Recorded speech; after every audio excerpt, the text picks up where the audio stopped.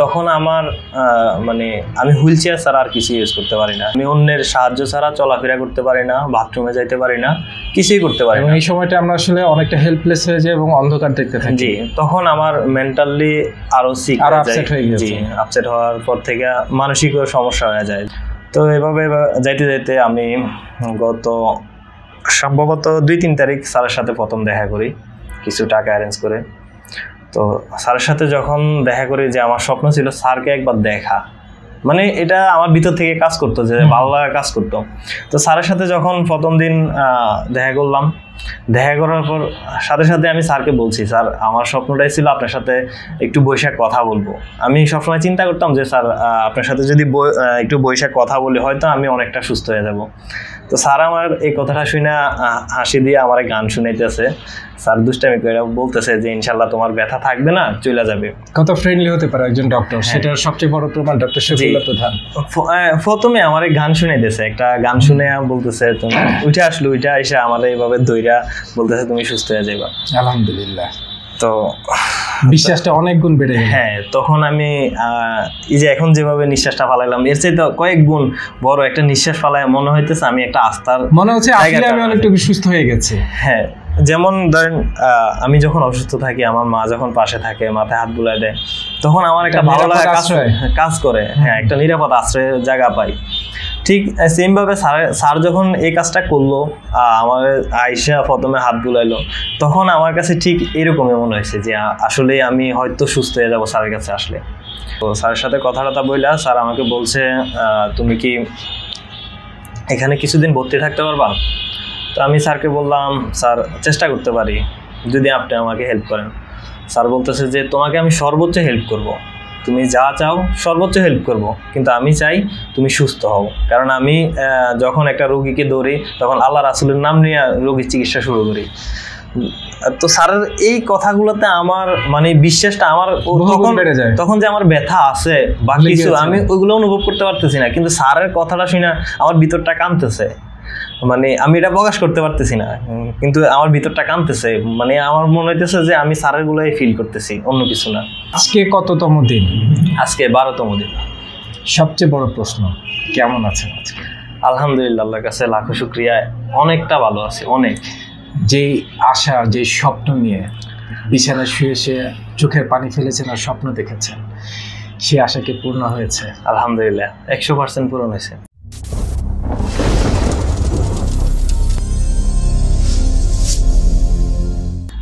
আসসালামু আলাইকুম।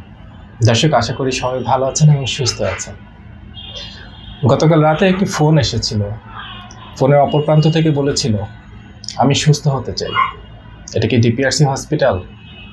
আমি বলেছিলাম হ্যাঁ ডিপিআরসি হসপিটাল। এবং আপনি সঠিক জায়গায় ফোন করেছেন। দর্শক, এরকম অসংখ্য অসংখ্য আকুতি থাকে, অসংখ্য প্রার্থনা থাকে। সুস্থ হওয়ার জন্য, ভালো হওয়ার জন্য দর্শক, এরকম অসংখ্য মানুষ আছেন যারা চিকিৎসার জন্য, যারা দীর্ঘদিন যাবৎ বিভিন্ন ব্যথাজনিত সমস্যায় বা বিভিন্ন প্যারালাইজ জনিত কারণে অসুস্থ হয়ে বিছানায় বছরের পর বছর কাটানো মানুষ। যাদের অনেকের ক্ষেত্রেই দেখে যে পরিবারের মানুষরা হাত বাড়িয়ে দেন, আবার কোনো কোনো ক্ষেত্রে পরিবারের মানুষরা হাত গুটিয়ে নেন। তারপরেও মানুষের জীবন থেমে থাকে না। তারা চেষ্টা করেন সুস্থ হওয়ার জন্য। আমরা চেষ্টা করি এই আকুতিগুলোকে তাদের আশায় রূপান্তরিত করার জন্য। এবং তাদেরকে বুকে ভর দিয়ে স্বপ্ন দেখায় সুস্থ হওয়ার জন্য। এবং তারা যখন সুস্থ হন, স্বাভাবিক মানুষের মধ্যে তারা বিচরণ করেন। দর্শক, আজকে আমাদের সাথে এখানে উপস্থিত আছেন আমাদের একজন ভাই, যিনি খুবই অল্প বয়স। ওনার যে সমস্যাটা হয়েছিল সেটা ছিল এএসএ অঙ্কোলাইজিং স্পন্ডোলাইটিস। এবং এটার জন্য ওনার যে স্বাভাবিক জীবন, খুব দ্রুত সময়ের ভিতরে নাটকীয়ভাবে পরিবর্তন হতে থাকে। দর্শক আসলে একটু ওনার সাথে পরিচিত হই এবং শোনার চেষ্টা করি যে আসলে ওনার কি হয়েছে। আসসালামু আলাইকুম। ওয়ালাইকুম আসসালাম। আসসালামু আলাইকুম। আপনার নামটা একটু বলেন। আমার নাম মোহাম্মদ কামরুল হাসান। কামরুল হাসান বাসা কোথায় আপনার? আমার বাড়ি কুমিল্লা চোদ্দ গ্রাম। চোদ্দগ্রাম চোদ্দ গ্রাম। পড়াশোনা শেষ করেছেন অল্প কিছুদিন হলো। জি এখনও কোনো কাজে জয়েন করেননি। জি না। কিছুক্ষণ আগে যখন জিজ্ঞেস করেছিলাম বলেছিলেন যে এই সমস্যাটার জন্য কোথাও জয়েনও করেননি। জি। কোনো কিছু জীবনটা যে শুরু করবেন যে মুহূর্তটায় সেই মুহূর্তটায় সবকিছু স্টপ হয়ে স্টপ হয়ে আছে জি। স্যারের কাছে এসেছেন অনেক আশা নিয়ে। কি হয়েছিল আপনার? এটা কতদিন আগে প্রথম শুরু হয় যদি একটু বলেন? আমার এটা প্রথম শুরু হয় দুই হাজার সতেরো সালের সেপ্টেম্বর মাসের চোদ্দ তারিখ থেকে। আচ্ছা। তো এর এর আগের সময়টাতে আমি কিছুটা ব্যথা অনুভব করতাম। একটা হঠাৎ ফুটবল খেলা থেকে আমি হঠাৎ ব্যথা পাইছিলাম। তো ওই ব্যথাটা আমার কন্টিনিউ ছিল না। তো হঠাৎ করে একদিন দেখলাম যে আস্তে আস্তে আমার ব্যথা হইতেছে। ব্যথা হওয়ার পরে একজন বাত ব্যথার ডাক্তার দেখাইলাম কুমিল্লা শহরে। আমি শহরে তখন শহরে পড়াশোনা করি। এর পরবর্তীতে সময় স্যার আমাকে একটা ইঞ্জেকশন দিল। ইঞ্জেকশন মানে প্রথম সমস্যাটা কোথায়? মানে পেইনটা কোথায় আপনি বুঝতে শুরু করেন? শরীরের কোন অংশটা প্রথম আমার এই জয়েন্টটাতে শুরু হলো। আচ্ছা। মেরুদণ্ডের যে জয়েন্ট সেখানে প্রথম পেন শুরু হয়। জি। আচ্ছা। এই পেনটা শুরু হওয়ার পর থেকে স্যারকে আমি দেখাইলাম স্যার বলল যে একটা ইঞ্জেকশন দেওয়ার জন্য। ইঞ্জেকশনটা দিছি আর কিছুটা ভালো লাগছিল। রিলিফ হয়েছে ব্যথা কিছুটা। আচ্ছা। এর পরবর্তীতে সময় স্যারে কিছু ওষুধ দিয়েছিল ওষুধ আর আমি ওষুধগুলো কন্টিনিউ করতেছি। কিন্তু না আমার ব্যথাটা আস্তে আস্তে বেড়েই চলেছে। আচ্ছা। তখন আস্তে আস্তে বাড়তে বাড়তে আমার এই ব্যথাটা এখান থেকে আমার হাঁটুতে আসে আমার পিঠে আসে গাড়ে আসে। তো যখন ব্যথাটা বাড়তে থাকে তো স্যারকে আবার দেখাই। স্যার দেখতেছি যে স্যার এখানে ভালো হইতেছে না আবার ডাক্তার চেঞ্জ করি দেখাই। তো পরবর্তীতে এরকমভাবে বারো তেরো দিন যাওয়ার পরে দেখলাম যে আমি আর চলাফেরা করতে পারতেছি না। আচ্ছা। তখন আমার হাঁটুগুলো ফুলা যাইতেছে। ঘুমাইতে পারি না মানে পুরো শরীরে উপসর্গগুলো দেখা দিচ্ছে ধীরে ধীরে।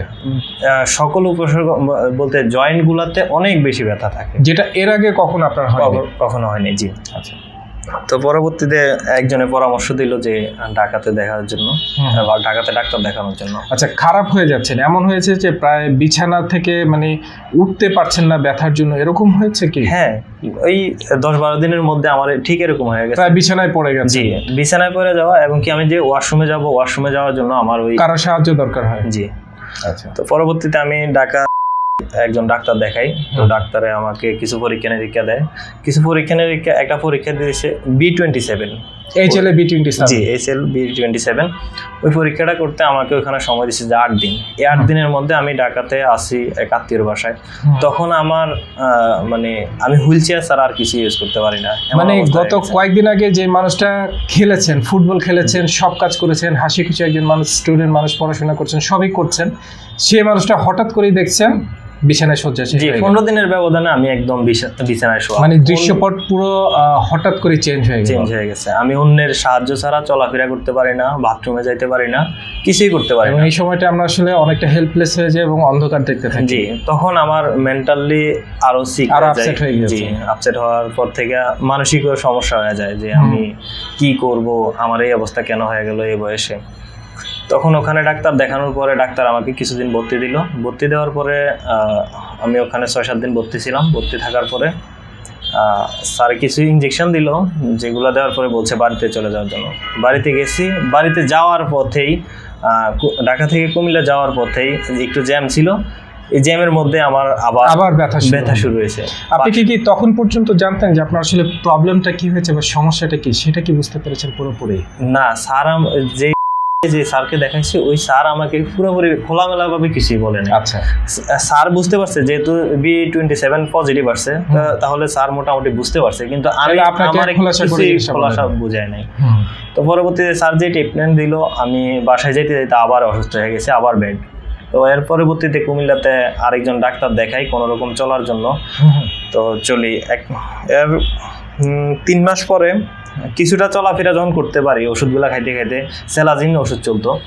তো এগুলা খাই আর ব্যথার ওষুধ খাই। অনেক বেশি পেন কিলার খাইতাম তো পেন কিলার খাওয়ার পরে কিছুটা যখন চলাফেরা করতাম তখন আমাকে আমার পাশের বাড়ির আঙ্কেল পরামর্শ দিল যে ইন্ডিয়াতে যাওয়ার জন্য। তখন আমি চেন্নাইতে গেছিলাম ইন্ডিয়াতে চেন্নাইতে যাওয়ার পর ওখানে আমাকে এক মাস ট্রিটমেন্ট করেছে তারা। কিন্তু এক মাস ট্রিটমেন্টে আমার কোনো ভালো কোনো উপকার। পাননি। জি। বরঞ্চ অনেকগুলো টাকা টাকা খরচ হয়েছে জি। অনেক টাকা। তখন আমি একজন স্টুডেন্ট মানুষ আমার ফ্যামিলিও ব্রাইট না। তো আমার জন্য অনেক কষ্ট এটা অনেক- অনেক কষ্ট। হ্যাঁ আমার বন্ধু বান্ধবরা হেল্প করছে যার কারণে কিছুটা ওখান থেকে রিকাপ হয়ে আসছে। তো আইসে দেখতেছি যে আমার ব্যথা আস্তে আস্তে চলতেছে। তখন আমি যেহেতু পড়াশোনা করি ইউটিউব ঘাটাঘাটি করতাম অনেক বেশি। তো স্যারের ভিডিওগুলো দেখতাম। আচ্ছা। স্যারের ভিডিওগুলো দেখতাম। আর ওই যে পাশাপাশি আমাদের কুমিল্লাতে একজন ডাক্তার আছে ওই ডাক্তারটারে দেখাইতাম কোনো রকম ব্যথার ওষুধ খাইয়া চলতাম। মানে জাস্ট কোনো রকমের যাতে আপনি মুভ করতে পারেন। মুভ করতে পারেন একদম যাতে বিছানায় না পড়ে যান সেটার জন্য। তো স্যারের যখন ভিডিওগুলো দেখতাম তখনই চিন্তা হতো যে আমি কখন স্যারকে দেখাবো। কিন্তু আমার একটা স্বপ্ন কাজ করতে জি একটা স্বপ্ন কাজ করতো। কিন্তু আমার দ্বারা তখন সম্ভব ছিল না এই কারণে কারণ আমি এখনও স্টুডেন্ট আর আমার অলরেডি অনেকগুলো টাকা আপনি ইন্ডিয়াতে খরচ করে আসছি জি। এখন আর যে এত টাকা খরচ করব বা স্যারকে দেখালে কত যায় এটা আমার ধারণা ছিল না। তো এর পরবর্তীতে আমার দীর্ঘ তিনটা বছর আমি এইভাবে পার করছি। এই ব্যথা বেদনা ব্যথার ওষুধ খাইয়া। তারপর ওখান থেকে কিছু ওষুধ দিতে এইগুলা খাইয়া কোনো রকম গ্যাপ দিয়া বা একটু চলাফেরা করে তিনটা বছর মাঝখানে কখনো এরকম মনে হতো না যে আমি হয়তো আর কখনো সুস্থ হব না কখনো ভালো হবে না আমার হ্যাঁ, জীবনে এরকমই থাকবে। মাঝখানে আমার এমন এমন দিন গেছে যে এই দিনগুলো আমার এমন কাটছে যে হয়তো বা আমি মরে যাব বা না হয় মন থেকে আসে যে আত্মহত্যা করে ফেলি। তো একটা সময় আমার মাথায় সমস্যা হয়ে গেছিল যার কারণে আমি একজন সাইকিয়াট্রিক হ্যাঁ জি সাইকেটিক ডাক্তার দেখাইছি এবং হচ্ছে কি বলে কি ডাক্তার বলে এগুলো? মাথার জন্য একজন ডাক্তার দেখাইছি? হ্যাঁ নিউরো নিউরো মেডিসিন ডাক্তার দেখাইছি। নিউরো মেডিসিন ডাক্তার দেখাইছি সিটি স্ক্যান করছি। ওইগুলাতে আমার ডাক্তারে বলতেছে আমার এই মানসিক চিন্তা থেকে আমি মানে আস্তে আস্তে নিজের ভারসাম্যটা হারাই ফেলতেছি। এই সময়টা এমন হয় যে আমার আশপাশের অনেক মানুষ, পরিচিত মানুষও দেখা যায় পিছন থেকে এমন কিছু কথা বলে যে হয়তো আর কখনো সুস্থ হবে না। তারা কি সাহস দেবে বলছে এমন কিছু কথা বলে তাতে মনটা আরও বেশি দমে যায়? হ্যাঁ তারপর যখন কুমিল্লাতে ওই যে যে ডাক্তারটা দেখাইতাম ডাক্তার যখন আশ্বাস ভালো আশ্বাস দিত না তখন বাসায় এসে মনে হইতো যে আজকেই হয়তো কিছু একটা করে ফেলি আর পারতেছি না ফ্যামিলি অর্থনৈতিকভাবে সম্পূর্ণভাবে কাবার দিতে পারতেছি না ওষুধ। অলরেডি ফ্যামিলিকে আমি একটা বিপদে ফেলে দিলাম সেরকমটাই হ্যাঁ। মনে হয়তো শুধু আমার একজনের কারণে আমার পুরো ফ্যামিলিটা আস্তে আস্তে মানে ধ্বংসের হয়ে পথে খারাপের দিকে যাইতেছে তো আত্মীয় স্বজন অনেকেই মানে বলতো যে মানে এটা আর ভালো হবে না বা এরকম তো আর কারোর দেখি না আশেপাশে এটা মারাত্মক কিছু। তখন অনেক ভয় পাইতাম এর থেকে আরও ভাঙ্গে যেতাম। কিন্তু আমার কিছু বন্ধু বান্ধব আর মা বাবা সবসময় আন্টি কিছু ছিলেন? জি, যারা আমাকে সবসময় সাহায্য জুগিয়েছেন হ্যাঁ সবসময় সাপোর্ট করতো পাশে ছিল। যত খারাপ সময় থাকুক আমার পাশে ছিল। আমার এক আফু উনি সবসময় সাপোর্ট করতো। তো যার কারণে আমার আসলে আস্তে আস্তে আস্তে আস্তে মেন্টালি একটু শক্ত হইতে পারছি। একটু শক্ত হয়ে ডিসিশন নিয়েছেন স্যারের কাছে চলে আসবেন। জি মেন্টালি যখন শক্ত হইতে পারছি তখন আসলে আমি কিছুটা অনুভব করতে পারছি যে আমি একটু এটার সাথে লড়ি। লইরা কিছু অর্থ জোগাড় করি অর্থ জোগাড় করে স্যারের সাথে একটাবার দেখা করি। তো এভাবে এভাবে যাইতে যাইতে আমি গত সম্ভবত দুই তিন তারিখ স্যারের সাথে প্রথম দেখা করি কিছু টাকা অ্যারেঞ্জ করে। তো স্যারের সাথে যখন দেখা করি যে আমার স্বপ্ন ছিল স্যারকে একবার দেখা। মানে এটা আমার ভিতর থেকে কাজ করতো যে। ভালো লাগা কাজ করতো।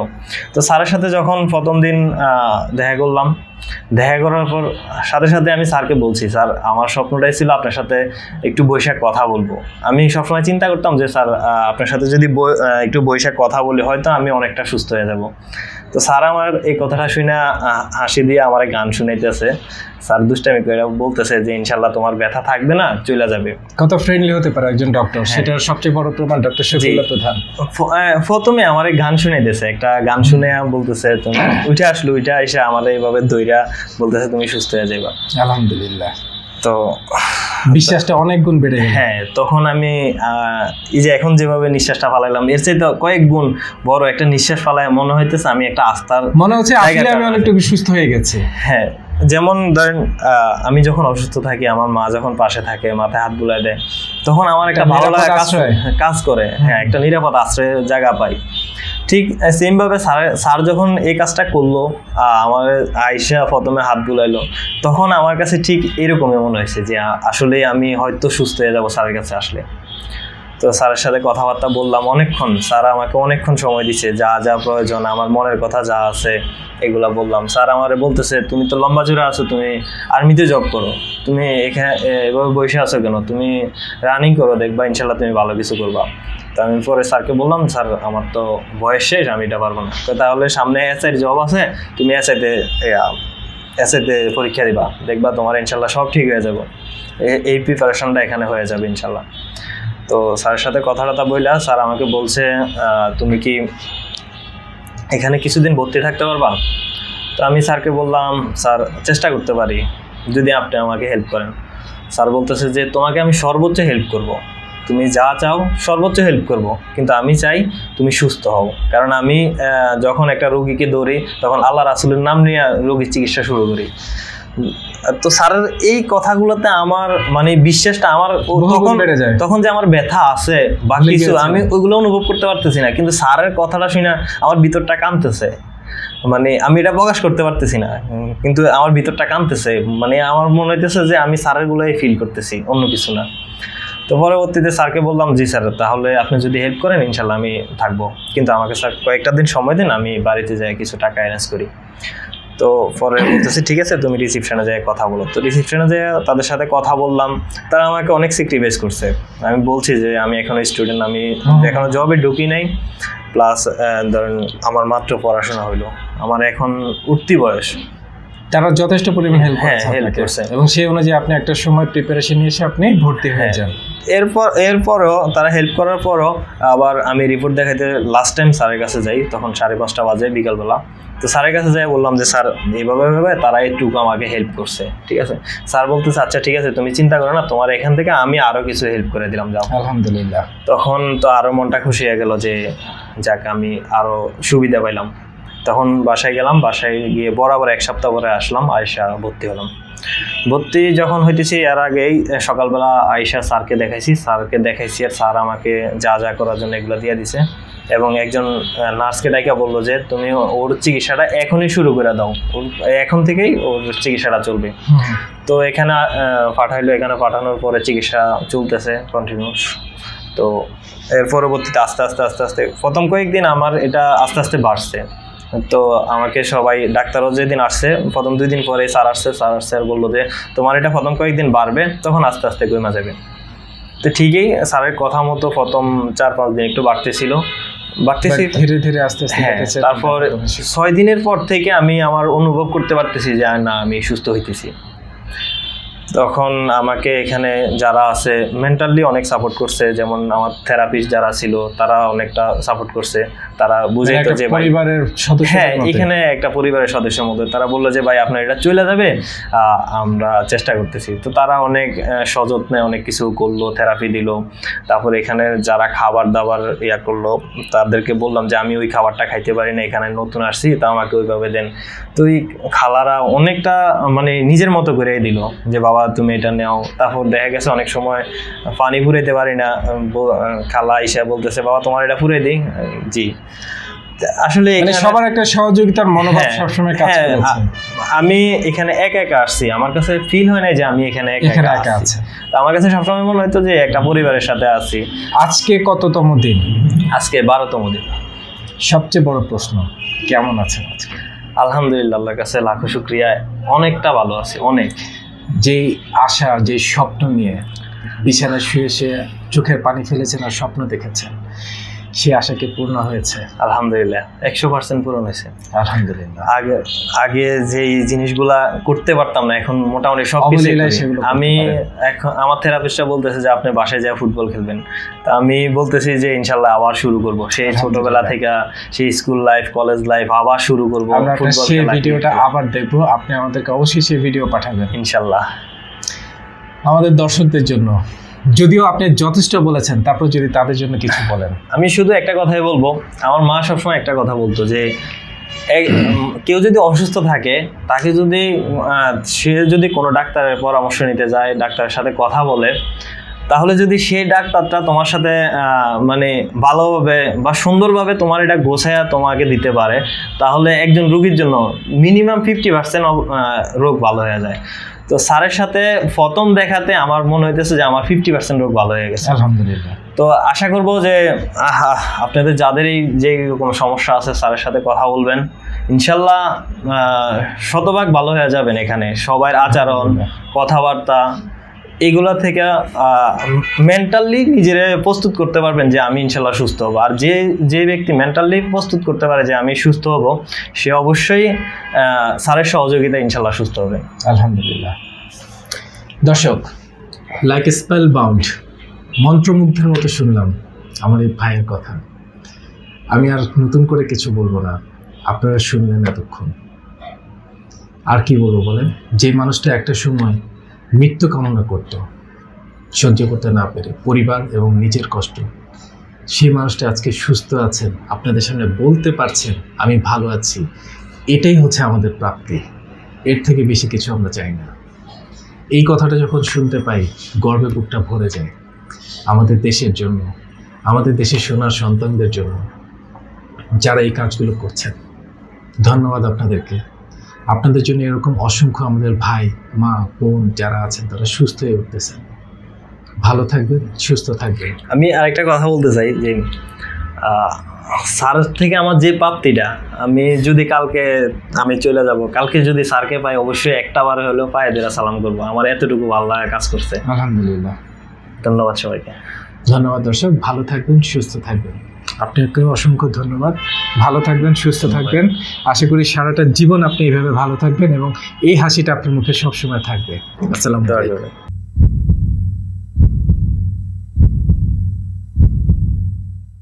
দীর্ঘজীবী হওয়ার প্রথম পদক্ষেপই হচ্ছে সুস্বাস্থ্য নিশ্চিত করা।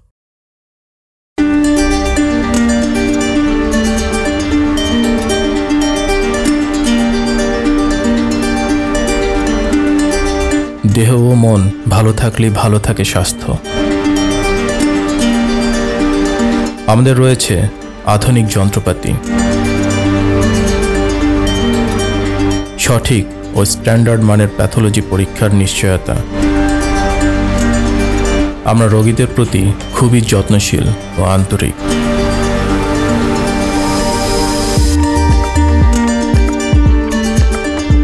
আমরা সর্বপ্রথম প্রতিটি রোগীর সঠিক রোগ নির্ণয় করি, এরপর রোগ অনুযায়ী অপারেশনবিহীন চিকিৎসা দিয়ে থাকি। আমাদের প্রতিটি ডক্টর, নার্স ও থেরাপিস্ট প্রশিক্ষণপ্রাপ্ত ও দক্ষ। আমরা প্যারালাইসিস রোগীদের নতুন করে চলতে শিখাই।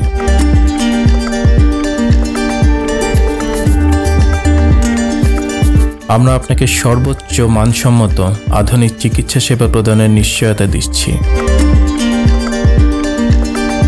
আমরা বিশ্বাস করি আপনি এখানে আপনার নিজ পরিবারের মতোই সেবা পাবেন।